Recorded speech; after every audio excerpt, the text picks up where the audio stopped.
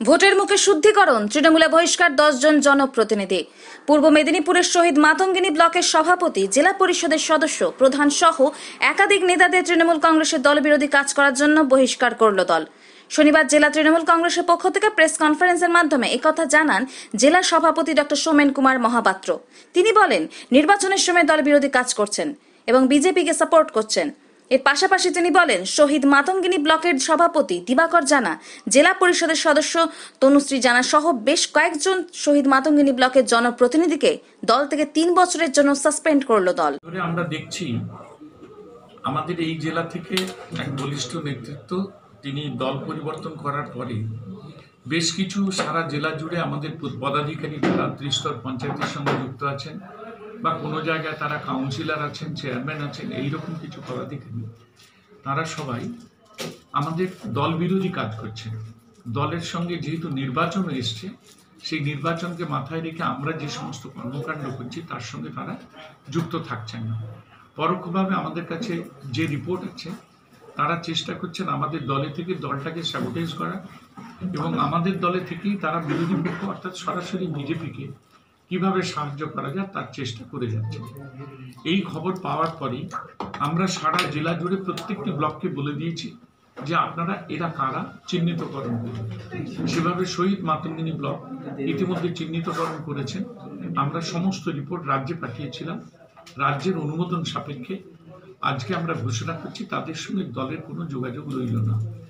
আমাদের দলের কোনো ব্যক্তি তাদের সঙ্গে যোগাযোগ রাখবেন না এবং আমরা আমরা মনে করি দলের সমস্ত কর্মকাণ্ড থেকে তাদের তিন বছর বাইরে থাকার জন্য রাজ্য অনুমোদন দিয়েছে। তারা হলেন শহীদ মাতঙ্গিনী ব্লকের দিবাকর জানা যিনি সভাপতি, শহীদ মাতঙ্গিনী পঞ্চায়েত সমিতি, সুনীল দেবাধিকারী সঞ্চালক খারুই দু নম্বর অঞ্চল, শিলাদিত্য আদব প্রধান রঘু টু, নিকুঞ্জ বিহারী মান্না উপপ্রধান কাকরদা অঞ্চল, বিভাস কর কর্মাধ্যক্ষ, শহীদ মাতঙ্গিনী পঞ্চায়েত সমিতি মিনতি পট্টনায়ক প্রধান কাকরদা অঞ্চল, দেবনাথ দাস সঞ্চালক কাকরদা অঞ্চল, তনুশ্রী জানা সদস্যা জেলা পরিষদ, রাখি আদক সদস্যা জেলা পরিষদ, নীলিমা দেবাধিকারী কর্মাধ্যক্ষ, শহীদ মাতঙ্গিনী পঞ্চায়েত সমিতি। আজকে এটা দিয়ে শুরু হয়েছে। ইতিমধ্যে জেলার বিভিন্ন জায়গা থেকে রিপোর্ট আসতে শুরু করেছে।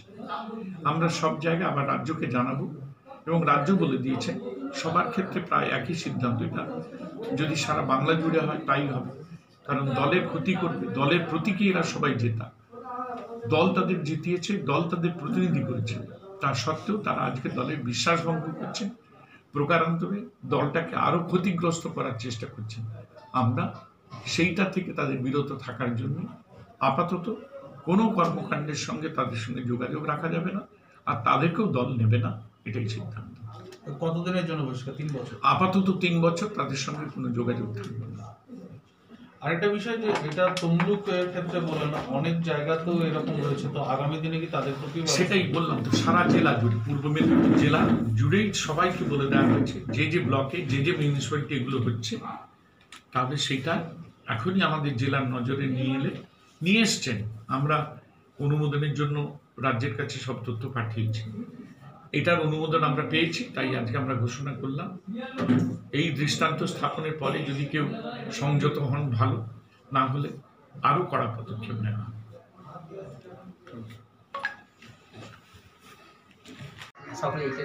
সব দল বিরোধী কাজের অভিযোগেই নিষ্ক্রিয় হ্যাঁ।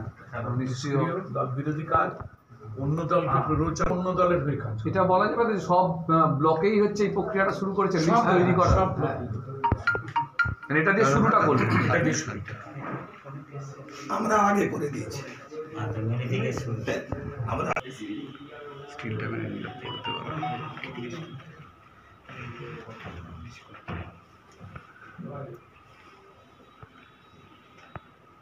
বলছি তুমি কি অফিসে আসবে সমাজসেবী থেকে চলে শেখরের ইনভার্টার আছে? দুটো দিয়ে দিচ্ছি এত কষ্ট করছিস কেন? দিয়ে দেবো? আচ্ছা না সেটা ঠিক আছে হ্যাঁ হ্যাঁ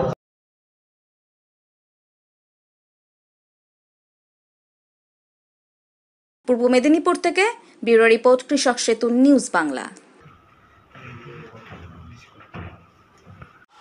দু হাজার একুশ বিধানসভা নির্বাচন সাক্ষী দল বদলের রাজনীতির। বদলে যাওয়া রাজনৈতিক ময়দানে কি পালা বদল ঘটবে? উত্তর দেবে ব্যালট বক্স। তবে ওয়ার্ম আপ করতে মাঠে নেমে পড়েছেন খেলোয়াড়রা। খেলা হবে। খেলা তো হবেই। তবে শেষ হাসি কারা হাসবে, তা নির্ভর করছে আপনাদের উপর। প্রার্থী নয়, শেষ কথা বলবেন আপনারাই। আপনাদের মতামত জানতে আমরা আসছি সরাসরি আপনাদের কাছে। প্রতি সোম, বুধ ও শুক্রবার ঠিক রাত নটায় কৃষক সেতু নিউজ বাংলার পেজ থেকে আমি থাকছি লাইভে। জনতার রায় জানতে সঙ্গে থাকুন। জানান নিজের মতামত। জনতার রায় প্রতি সোম, বুধ ও শুক্রবার রাত্রি নটায় শুধুমাত্র কৃষক সেতু নিউজ বাংলার পেজে। আপনারা দেখছেন কৃষক সেতু বাংলা। বাংলার মাঝে খবরের খোঁজে।